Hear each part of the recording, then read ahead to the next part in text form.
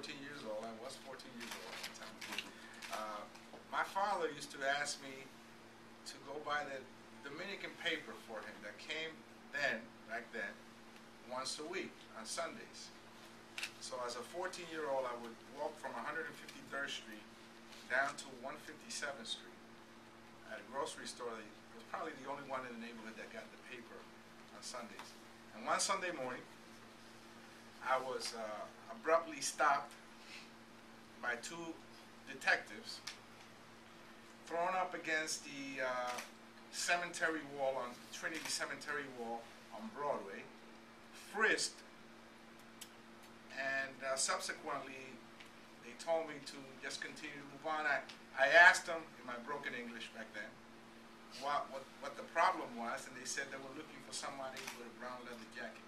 You know, I was uh, so traumatized with that that I thought that I had done something wrong. So I was never, I never told my parents that that occurred until I was an adult. Because I felt ashamed of it. I thought it was a very, uh, that's the first time that I, I, I was in contact, and the only time that I've been in contact with the police. And uh, I just think that we have the, the best police department in the world. The police department of this city does not need to resort to those types of tactics to uh, bring down crime. I represent Washington Heights Inwood, Marble Hill. Our neighborhood went through a drug war in the 80s and 90s. Uh, now we're seeing a dramatic drop in crime there, but you know, to re- to resort to that, I think it's it, it's, it's heavy-handed and and sometimes it can lead to friction with the, with law enforcement that is unnecessary for us to continue to move forward as a city. So this database also is, is very troubling.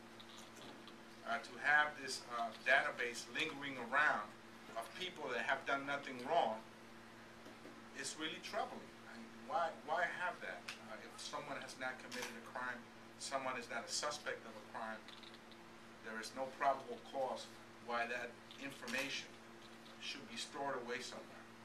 And if you look at the numbers,